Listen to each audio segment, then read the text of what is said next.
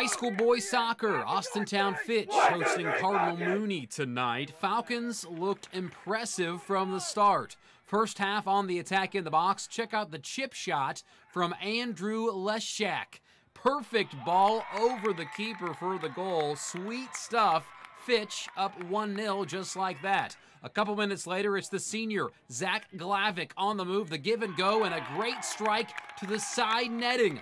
What a goal from Glavic and a nice celebration to boot, flexing those muscles. Glavic was not done. Off the corner kick later, a perfect ball from Josiah Burney, and Glavic there for the header. His second goal of the night, Fitch rolls in the end 5 to 2, picking up their first win on the young campaign.